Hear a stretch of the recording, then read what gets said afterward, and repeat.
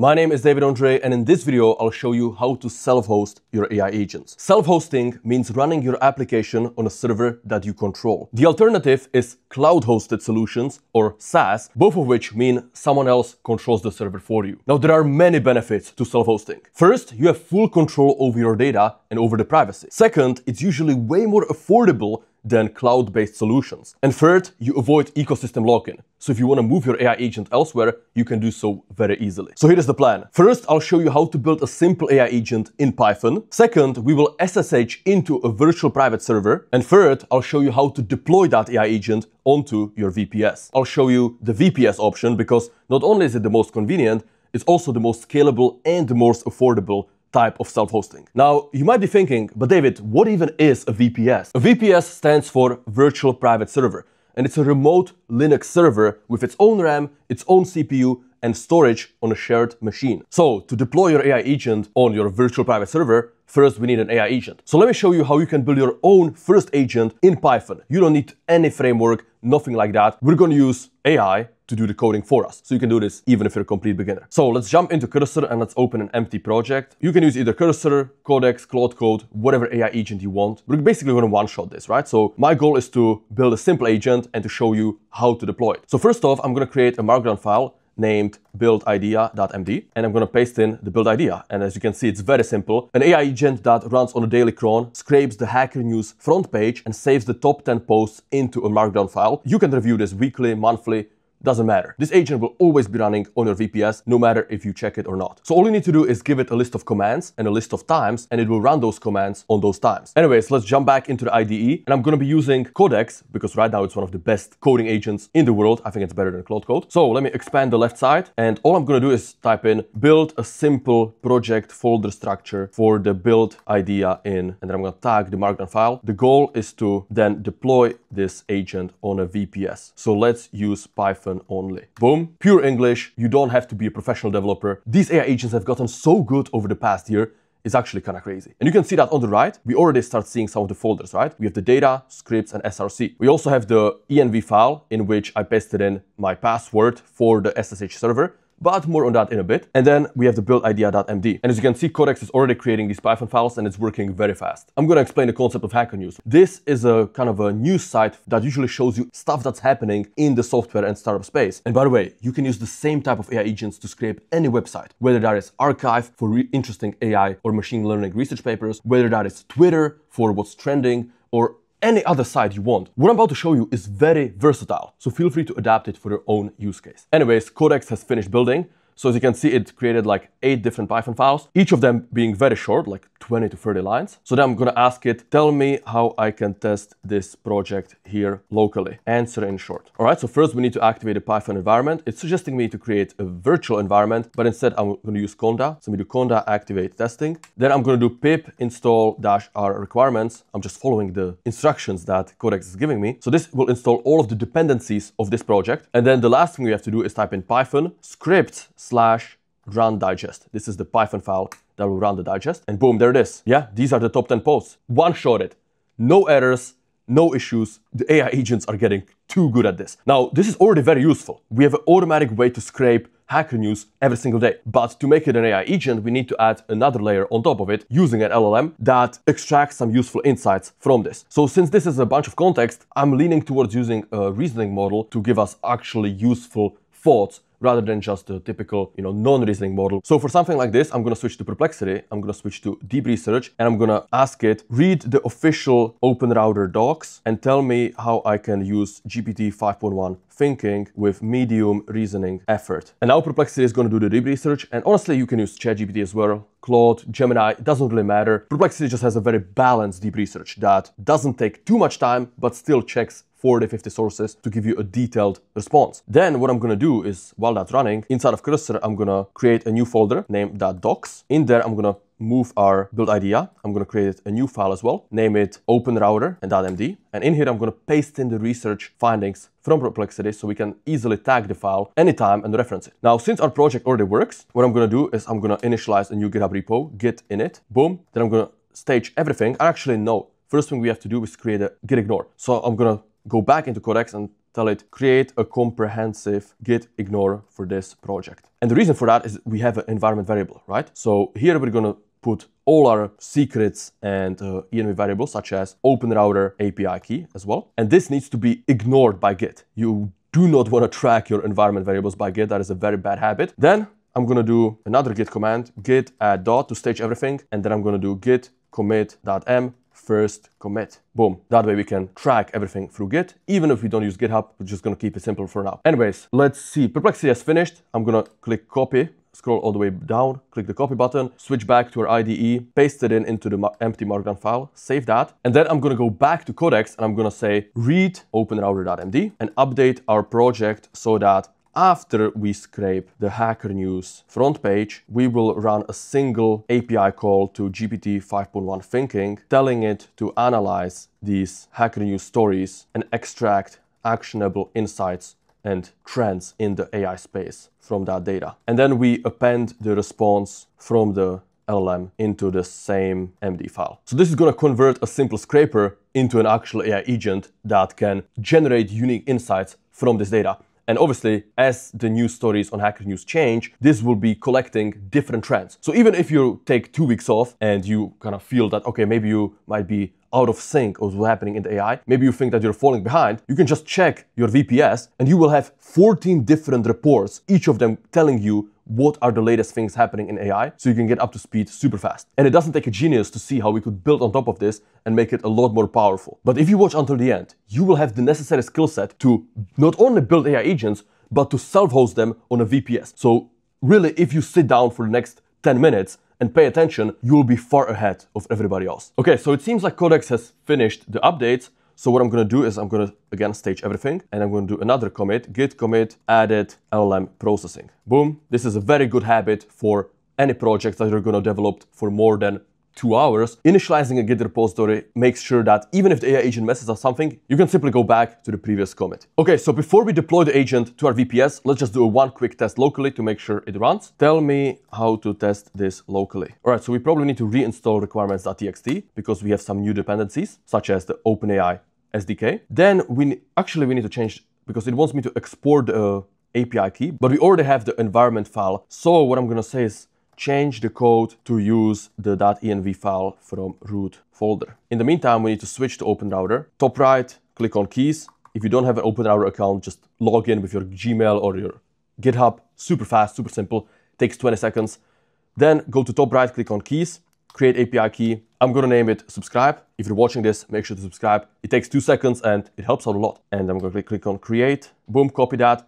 Do not share your API keys with anybody treat them as passwords. They should be completely private. Then make sure to hit Command S to save. A codex already finished because it's very fast. So what we need to do now is rerun this command. Python, execute this Python file basically. So I'm gonna clear the terminal and run it again. And we have an error. What's happening? Boom, I'm gonna paste this in, boom logs, explain this error and fix it. We might be passing some extra stuff that OpenRouter doesn't like. Okay, it's missing a proxy. All right, so let's open the terminal, reinstall the requirements, and then rerun the script. Now, actually, I want to make two more small tweaks. First of all, I changed the reasoning effort to low to make it faster. Second, we want the command line to give us more info. So I'm going to say add four more print statements so that we see some logs in the console as the program is running. Because right now we don't really see anything when we activate it, which is very difficult for debugging and just knowing what's happening. Okay, fetching, okay, so you can see the Hacker News part is very fast. Now it's generating the AI insights using the GPT 5.1 thinking model through OpenRouter. Okay, so let's look at the report. We have the sources and let's see below. There it is, AI insights and trends. Here are the key AI relevant trends emerging from these stories. AI infra consolidation, okay.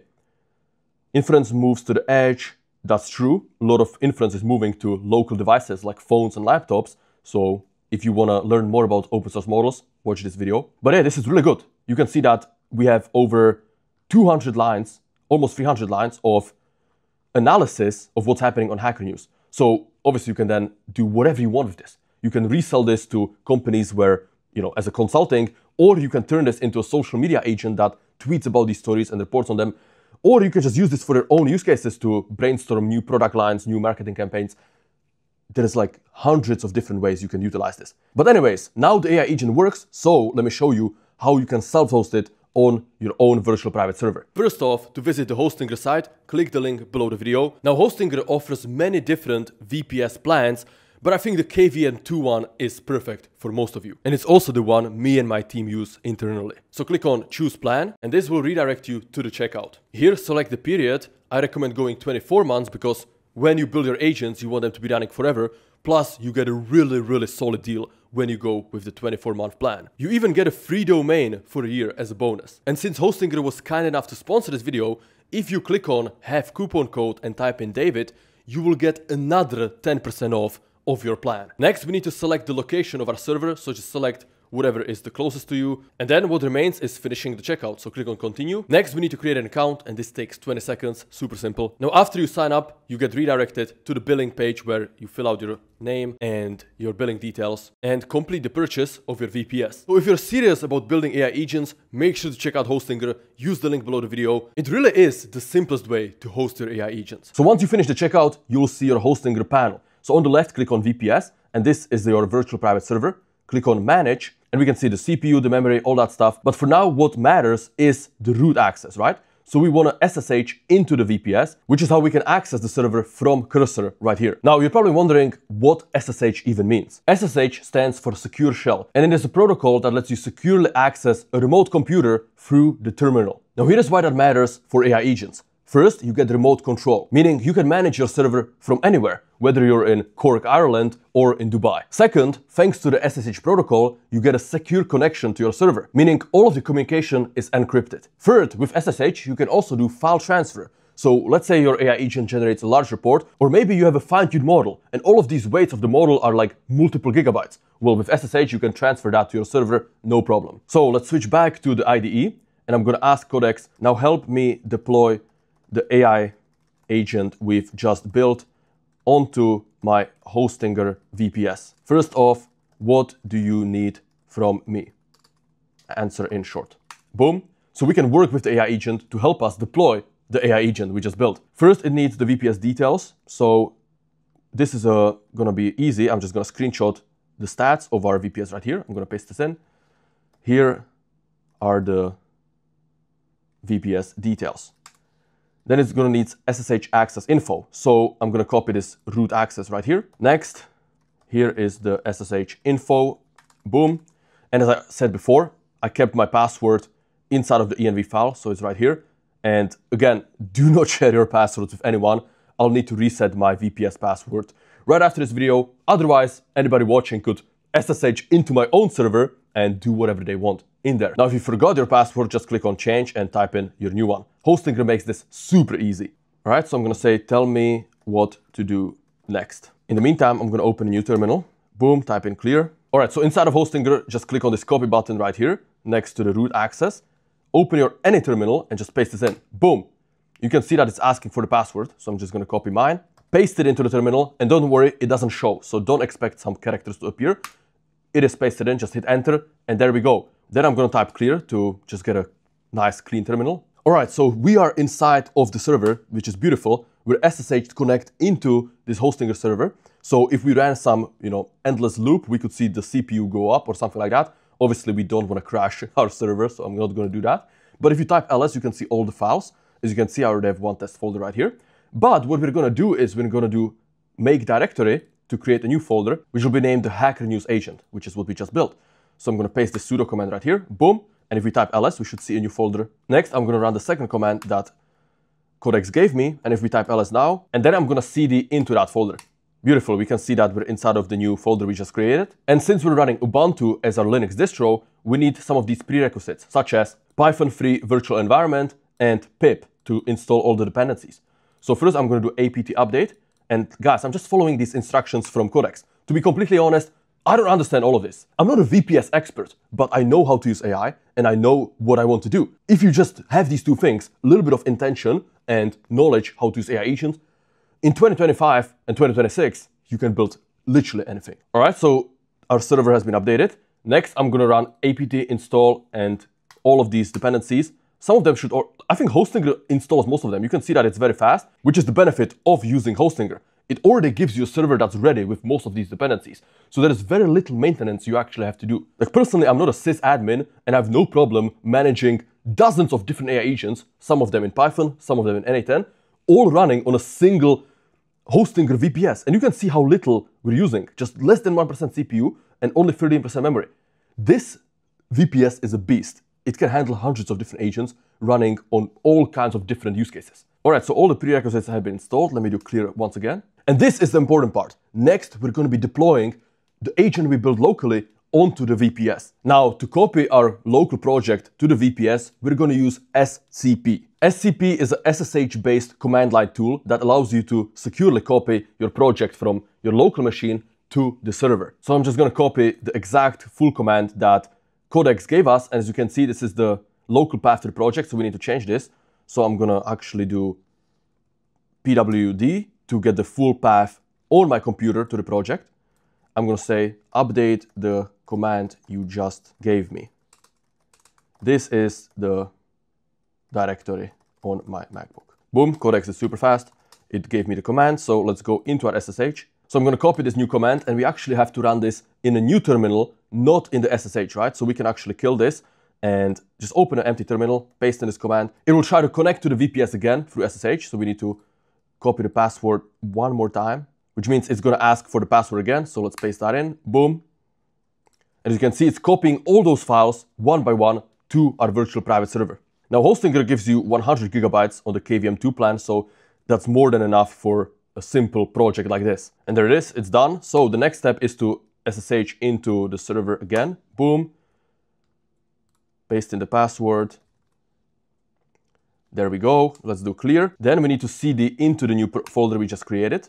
Beautiful. Next, activate the virtual environment with Python VNV. Copy the source command to actually activate the VNV. There we go. On the left, we can see the dot .venv, which means all of the dependencies we install are isolated to be in this Python environment. And then just run pip install again, exactly like we did locally on our machine, but this time we're doing it on the VPS. And the last step that remains is to test whether our AI agent works. So type in python scripts slash run digest, hit enter, and we can see that it's fetching the front page, it's parsed the top 10 posts, and now it's generating the AI insights all of which is happening on the VPS. So this is not happening locally on my MacBook, right? I could be doing this on a toaster as long as it has SSH, as long as it can connect to a Linux server, you can operate a VPS. And this is really the beauty of self-hosting. Your virtual private server runs in one location, so in this case I selected the UK, and you can SSH into it from anywhere. So even if you're in Antarctica, it doesn't matter, right? Your AI agents are still running in the UK using this cron job to regularly scrape the Hacker News website. Amazing, so the AI agent finished running, it created the digest. All right, so what remains is setting up the cron. So we need to SSH back into the VPS. Boom, it's gonna ask for the password again. Let's copy that.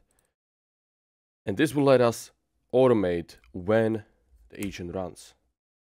There we go, we're in. Let me do clear. Now to set up the cron, you have to do cron tab dash E, hit enter. This will open a cron tab editor. Now, as you can see, I have the nano selected, but if you're doing this for the first time, it will ask you like between four options.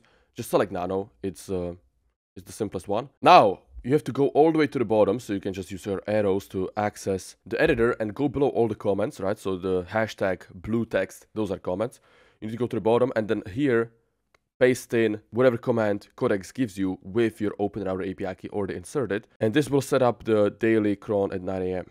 So I'm gonna paste it in copy code, paste it in, boom. And by the way, if you wanted to run twice a day or every five minutes, all of that is possible with cron. Just tell Codex and it will give you a new command. Now pay attention because using the cron editor requires some keyboard shortcuts. You have them at the bottom. So first we need to do Control O.